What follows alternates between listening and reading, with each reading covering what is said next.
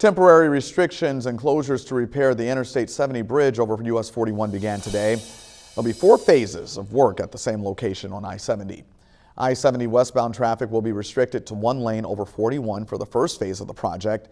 This is expected to last two weeks, weather permitting. The next phase will then restrict eastbound traffic on the interstate.